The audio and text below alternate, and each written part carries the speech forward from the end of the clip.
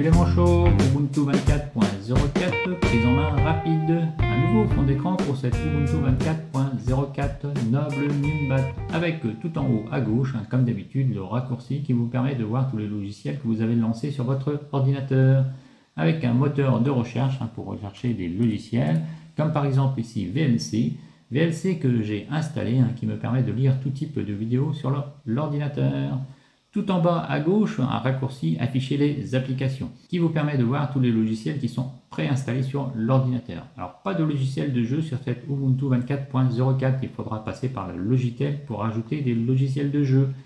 Un nouveau logiciel firmware Updater, ce logiciel devrait normalement vous permettre de mettre à jour les firmware de votre matériel, comme par exemple ici le touchpad, Ici, le disque dur, un périphérique interne, peut être mis à jour. Alors, je ne sais pas encore comment fonctionne ce logiciel, mais il devrait vous permettre de mettre à jour le firmware du matériel de votre ordinateur. Dans les applications, vous avez aussi un raccourci qui vous permet d'aller voir les pilotes additionnels. Raccourci indispensable pour voir si vous avez des pilotes propriétaires sur votre ordinateur pour le Bluetooth, le Wi-Fi ou les cartes graphiques. Si vous avez des pilotes propriétaires, c'est par ici qu'il faudra les valider pour les installer et voir si cela améliore le fonctionnement de votre ordinateur. Logiciel Ubuntu, je suis toujours sur le serveur France hein, comme d'habitude, et mise à jour. L'onglet mise à jour vous permet de voir que cette version LTS est active jusqu'en 2029. 5 ans de mise à jour sur cette Ubuntu 24.04. Et pour prolonger les mises à jour, vous pouvez passer sur Ubuntu Pro. Ubuntu Pro vous permet d'avoir des mises à jour pendant 12 ans sur cette version LTS. L'explorateur de fichiers a été un petit peu mis à jour hein, et vous l'avez de présent ici. Une recherche dans les dossiers actuels. Recherche dans les dossiers actuels vous permet de rechercher dans les dossiers que vous sélectionnez. Et vous avez maintenant un moteur de recherche pour rechercher partout sur votre ordinateur. Rechercher partout sur votre ordinateur vous permet de rechercher tous vos fichiers sur votre système. Les emplacements par défaut sélectionnés sont le dossier personnel, documents, images, musique et téléchargement et vidéo. Pour ajouter des dossiers supplémentaires, il faut faire ajouter emplacement. Sur mon ordinateur, j'ai un disque dur externe hein, que je vais sélectionner et que je vais rajouter dans le moteur de recherche. Le disque supplémentaire, c'est le disque data qui est présent ici. Hein. je peux le sélectionner, il sera rajouté dans la liste. Pour faire des recherches autres que dans votre dossier personnel hein, qui est présent ici, il faudra rajouter un autre emplacement. L'emplacement se nomme ordinateur. L'ordinateur est présent ici, c'est la racine du disque où vous avez installé Ubuntu. Pour faire une recherche complète hein, sur votre disque dur avec Ubuntu, il faudra donc sélectionner la racine. La racine est présente ici et maintenant vous pouvez faire des recherches sur tout votre ordinateur et faire d'autres sélections si besoin. Ici vous avez une présentation soit en liste ou soit en grille hein, en fonction de vos besoins pour voir un petit peu les fichiers qui sont présents sur votre ordinateur. Vous avez la taille des fichiers qui est présente ici, et pour le classement, c'est trié de A à Z, de Z à A et dernière modification, bref, du classique dans cette version Ubuntu 24.04. Dans cette nouvelle version, un nouveau menu qui est présent ici, qui a été un petit peu relifté, hein, qui vous permet d'avoir un accès direct avec le réglage du son.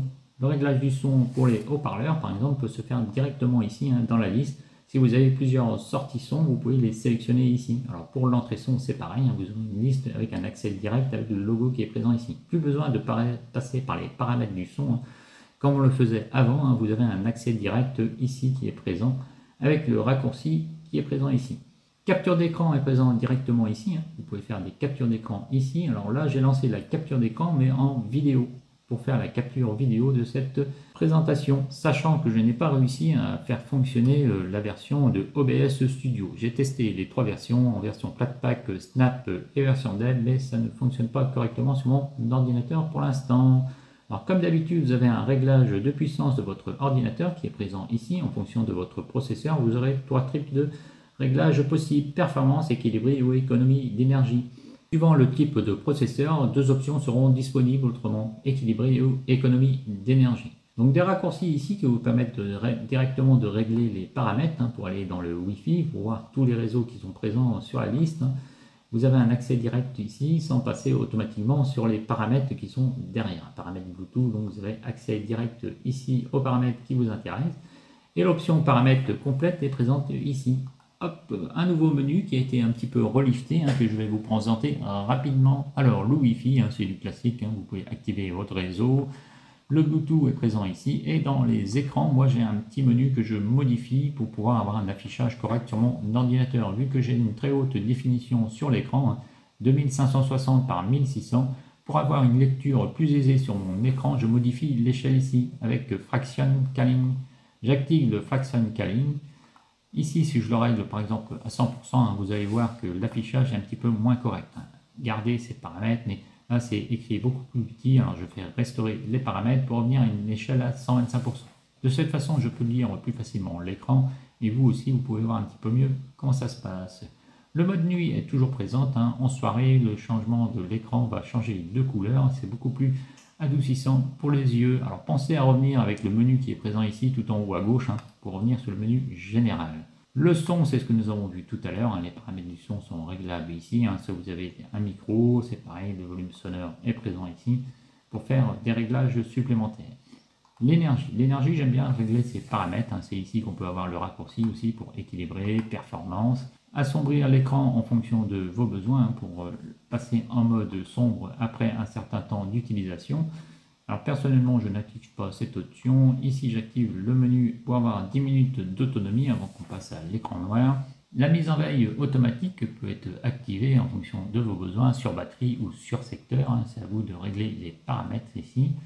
Et sur le bouton d'extinction, vous avez un menu hein, qui vous permet soit de mettre en veille si vous appuyez sur le bouton Power de votre ordinateur. Moi, ça sera éteindre qui me proposera si j'appuie sur le bouton Power, afficher le pourcentage de la batterie, hein, donc ça sera affiché dans le menu qui est présent tout en haut. Hein. moi j'aime bien l'afficher pour avoir l'information directe de mon autonomie de ma batterie qui pour l'instant est bien chargée à 100%. Le multitâche est présent ici, hein. vous pouvez activer les coins actifs. le coin actif c'est tout en haut à gauche. si je vais ma souris tout en haut à gauche, vous avez les coins actifs qui sont présents ici. Alors je n'ai pas trop activé cette option, c'est en fonction de mes besoins, mais à vous de voir si ça peut vous convenir. Alors d'autres options qui sont possibles de valider ici en fonction de votre écran et de votre utilisation. Dans les apparences, donc dans les apparences, hein, comme d'habitude, ils ont activé le menu ici avec plusieurs couleurs, le mode sombre et le mode par défaut. Un exemple rapide des couleurs qui sont disponibles, hein, vous allez voir un changement de luminosité ici qui est présent hein, avec du couleur vert, du couleur bleu. À vous de choisir un petit peu les options et vous pouvez passer en, mode sombre. Le mode sombre, c'est celui-ci, ça sera à vous de voir si ça peut vous convenir. Alors ce qu'il faut savoir aussi, c'est qu'au niveau des d'écran, nous avons des options de disponibles différentes en fonction du mode que vous utilisez. Le mode par défaut, c'est le mode clair. Alors je vais activer ici le fond d'écran qui est présent. Hop. Et le fond d'écran qui est présent peut être différent, soit si vous êtes en mode son, avec les deux variantes qui sont ici. Hop, je vais mettre le noble Numbat qui est présent ici. Et comme vous allez le voir, si je passe en mode sombre, il va changer de couleur aussi, ce qui est différent du mode qui est présent ici, qui lui n'a pas de mode sombre soit le mode clair, soit le mode sombre, mais le fond d'écran ne va pas changer avec les options qui sont différentes. Sur celui-ci, par exemple, vous avez un mode sombre qui est différent du mode que vous allez choisir par défaut. Voilà pour les petits changements pour les apparences avec euh, bien sûr des fonds d'écran hein, qui ont été un petit peu améliorés et changés comme d'habitude à chaque nouvelle version.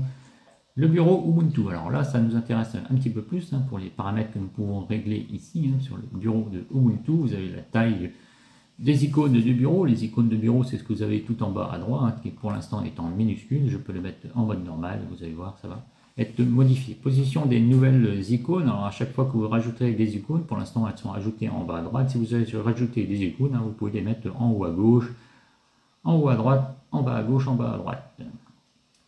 Afficher le dossier personnel, donc le dossier personnel bien sûr c'est celui-ci qui est tout en bas. Hein. Je peux bien sûr comme d'habitude masquer automatiquement le dock en validant l'option qui est présente ici hein, et automatiquement le dock va se cacher dès qu'une fenêtre va s'agrandir et se présenter devant le dock. Le dock c'est ce que nous avons de présent bien sûr ici. Hein.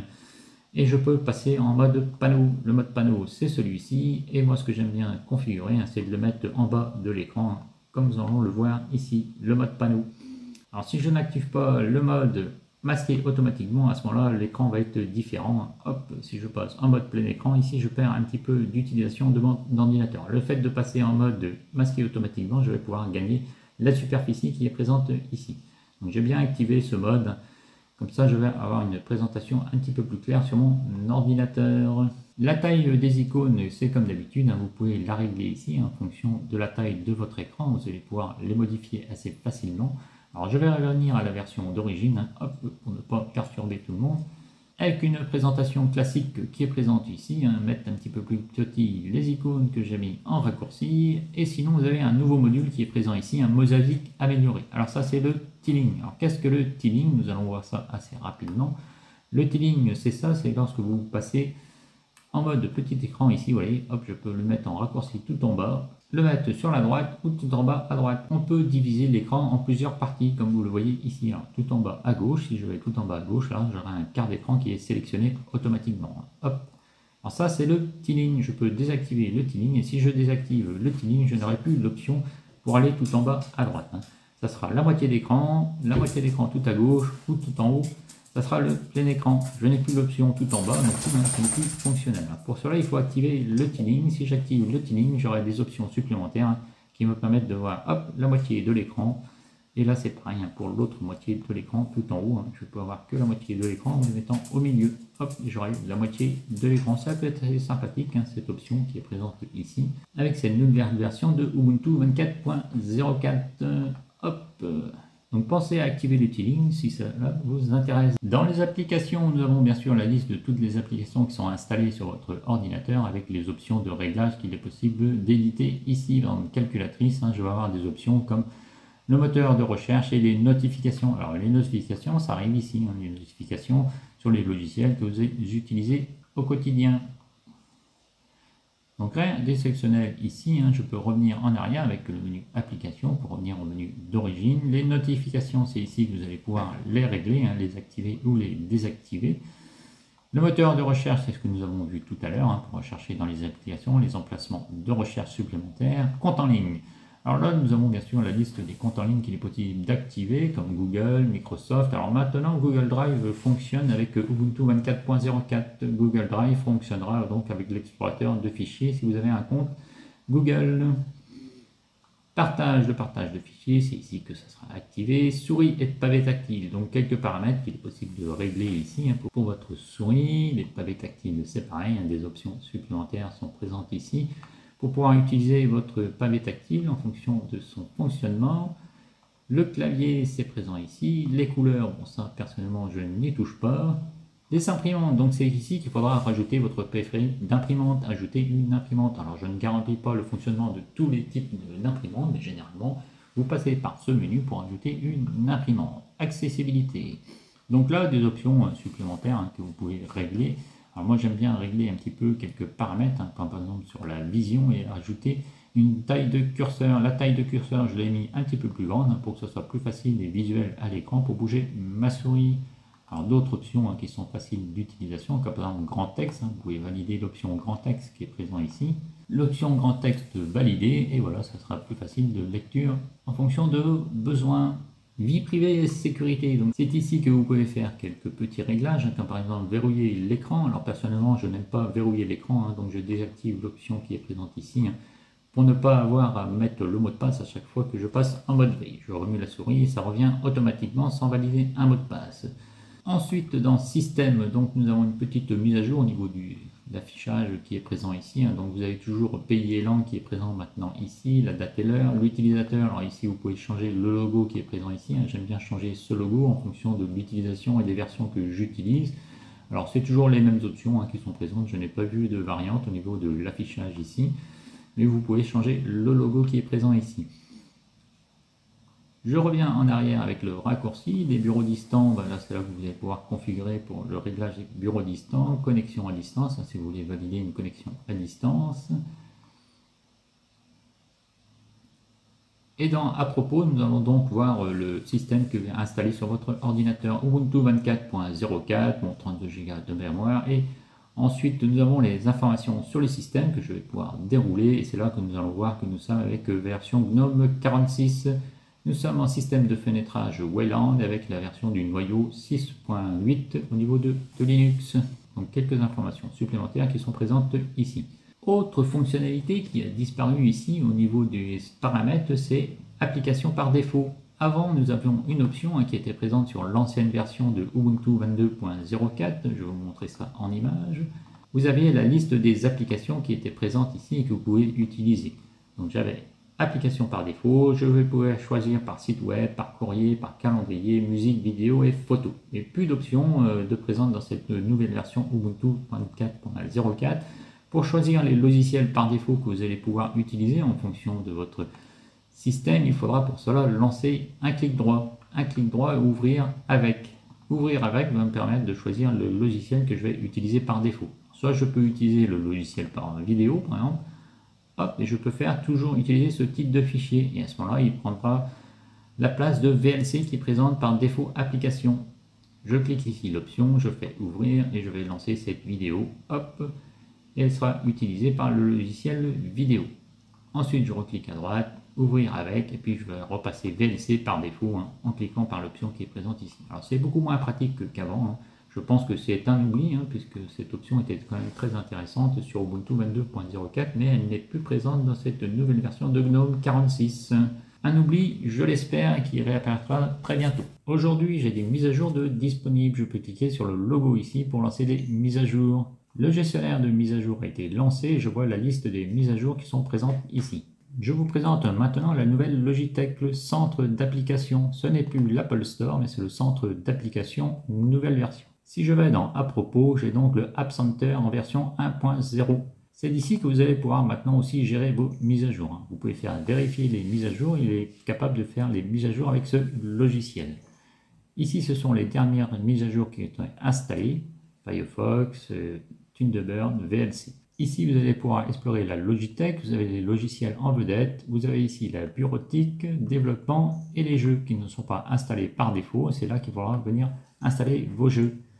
Si je fais une recherche sur le logiciel VLC, là il me présente différentes versions. Les paquets Snap seront proposés par défaut. VLC en paquet Snap et VLC en paquet Debian. Tout en bas, j'ai affiché tous les résultats. Je clique sur celui-ci et comme vous le voyez ici, j'ai un filtre par paquet Snap. Si je veux le paquet Deb, il faudra choisir paquet Debian. Et là, j'ai le paquet Debian de VLC. Alors je l'ai installé, hein, je peux le désinstaller facilement. Il faudra installer le logiciel VLC pour pouvoir lire tout type de vidéos.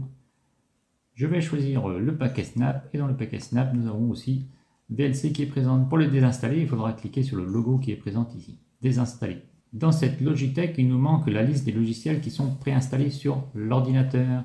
Pour cela, j'ai installé une autre Logitech qui se présente ici. Logiciel, c'est la boutique des Flatpak. Une autre Logitech qui est un petit peu plus performante que celle de App Center. Ici, vous pouvez mettre à jour vos Flatpak. Si vous installez des Flatpak, c'est ici qu'il faudra passer pour mettre à jour les Flatpak. Ici, bien sûr, je peux explorer la liste des logiciels que je peux installer. Et là, j'ai la liste des logiciels qui sont installés sur l'ordinateur. Kdenlive est installé, je peux le désinstaller. J'ai LibreOffice Writer qui est installé, je peux le désinstaller directement ici. J'ai donc la liste des logiciels qui sont installés sur l'ordinateur avec cette Logitech. Si je fais une recherche sur le logiciel VLC, là je le présente dans la liste VLC. Je clique sur VLC et dans la liste tout en haut à droite, je peux choisir la version, la version Flatpak, la version Dev, la version Snap. Là, tout est présenté dans un seul menu. Alors pensez à regarder dans la liste hein, lorsque vous lancez une recherche pour voir s'il n'y a pas plusieurs versions qui sont présentes dans la liste. L'intérêt d'avoir installé cette Logitech, c'est qu'ici je peux cliquer directement dans le moteur rechercher et faire une recherche dans la Logitech. Je tape Clémentine et là il me trouve la boutique des logiciels avec Clémentine que je peux installer en différentes versions, en paquet Snap, en paquet Dev ou en paquet Flatpak. Je sais que ce logiciel est disponible dans la Logitech. Ensuite, il me suffit d'aller dans la boutique du logiciel pour rechercher le logiciel Clémentine. Si je choisis l'App Center, Clémentine est présente dans les deux versions, version Snap et version Debian. Avec la boutique des Flatpak, ça devient plus intéressant hein, puisque le logiciel sera listé directement dans les trois versions. Clémentine, les trois versions sont présentes ici. Pour installer la boutique des Flatpak, c'est très facile, il suffit d'aller sur mon site internet libre à Quimperlé. Ici, j'ai un onglet qui s'appelle Tutoriel et dans la liste des logiciels qui sont présents ici, j'ai le logiciel Flatpak. Flatpak est une Logitech supplémentaire, il faudra donc lancer des lignes de commande pour installer la Logitech. Pour cela, il suffit de copier la ligne qui est présente ici, de la copier dans un terminal et de valider la commande. Un mot de passe vous sera demandé, hein, valider deux fois le mot de passe et valider la commande. Ici, j'ai déjà installé le logiciel, donc vous n'aurez pas les mêmes informations. Voilà pour installer la boutique des Flatpak. Ensuite, vous allez pouvoir gérer votre boutique des Flatpak avec le logiciel Flatseal. Flatseal est présent ici, je l'ai installé. Ce logiciel vous permettra de gérer tous les paquets Flatpak, comme par exemple Line que j'ai installé avec les options pour valider ici les permissions. Comme logiciel supplémentaire, j'ai installé le logiciel ajustement que j'aimais bien installer sur Ubuntu 24.04 qui avait quelques options supplémentaires dans cette version. Alors ici, pas de gros intérêt d'installer le logiciel ajustement, pas d'options supplémentaires intéressantes. Alors évitez de changer les polices et les apparences, hein. Sinon vous aurez peut-être des soucis d'affichage avec Ubuntu 24.04. Hein. Moi je ne modifie pas les paramètres comme ça pour ne pas avoir de soucis. L'option qui peut être intéressante, c'est application au démarrage. Par exemple, j'ai lancé le logiciel HTOP qui se lance au démarrage de l'ordinateur. Sinon, je ne vois pas d'autre intérêt d'installer le logiciel ajustement. Avant, on avait l'option qui était intéressante pour avoir le niveau de batterie ici de présent dans l'affichage, mais ici, ce n'est plus l'option qui m'intéresse, puisqu'elle est présente directement dans GNOME 46. Sinon, j'ai installé un autre logiciel qui sont les extensions qui vous permettent de voir les extensions qui sont présentes sur cette Ubuntu 24.04. Donc, ce sont les extensions par défaut qui sont validées en Ubuntu 24.04. Alors, je ne rajoute pas d'extensions supplémentaires. Hein. J'utilise les options qui sont présentes ici. Mais ici, comme vous allez le voir, par exemple Ubuntu Dock, vous allez avoir des options qui sont supplémentaires. Ici, vous pouvez même désactiver votre dock qui est présent ici. Je peux le désactiver. Le dock est désactivé, je réactive le dock, mais nous avons des options supplémentaires et plus complexes qui sont présentes ici. L'intérêt de Ubuntu 24.04 et de la version GNOME, c'est qu'elle simplifie au maximum l'utilisation et les paramètres de l'ordinateur. Mais par contre, ici, vous avez accès à des paramètres qui sont à peu près identiques à ce que nous avons dans GNOME 46, puisque c'est ça qu'il utilise. Vous pouvez mettre la position de l'écran en bas, en haut, à droite. Hein. c'est les mêmes options qui sont présentes ici hein, et la taille des icônes. C'est ce que nous avons ici que nous pouvons régler. Le mode de barre étendu, mode barre étendre au bord de l'écran. C'est les mêmes options, mais un petit peu différentes qui sont présentes ici. Nous avons les lanceurs qui sont présents ici, des options supplémentaires et des comportements qui peuvent être affichés ici. Et dans les apparences, vous avez des options qui ne sont pas disponibles dans la version GNOME, mais qui sont présents ici dans les paramètres que vous pouvez régler. Par exemple, changer la couleur du dock. Si j'active l'option qui est présente ici, hop, je vais avoir un dock qui a une couleur bleue que vous pouvez modifier ici. Vous pouvez même modifier les paramètres par défaut. Hein. Hop, vous pouvez les mettre fixes. Hop, faire des réglages ici un peu pour l'opacité et faire un réglage ici des paramètres sur le dock qui est présent sur la droite. Je reviens aux paramètres d'origine, valeur par défaut. Vous voyez, vous avez quelques options supplémentaires qui sont présentes ici avec le dock. Alors bien sûr, dans la liste, vous avez aussi d'autres options qui sont présentes ici, hein, paramètres, des options supplémentaires un peu plus complexes hein, qui sont présentes ici parce que GNOME simplifie au maximum l'utilisation de l'ordinateur. App indicateur, c'est pareil, hein, vous avez des options icônes personnalisées, préférences, des options ici qui sont présentes pour faire des petites améliorations si cela peut vous convenir. Et le tiling est présent ici, un tiling pop-up affiché, des options présentes ici, alors c'est en anglais, mais bon, ce n'est pas bien compliqué à utiliser. Donc vous pouvez utiliser le logiciel extension hein, pour voir si vous pouvez faire des petites modifications sur l'affichage de votre ordinateur. Un clic droit sur le fond d'écran vous permet de créer un nouveau dossier, ordonner les icônes, ordonner et conserver par ordre, par tri, ouvrir le bureau des fichiers, ouvrir un terminal, changer l'arrière-plan, préférence des icônes. Si on veut changer l'arrière-plan, c'est très rapide, hein. vous cliquez et c'est validé.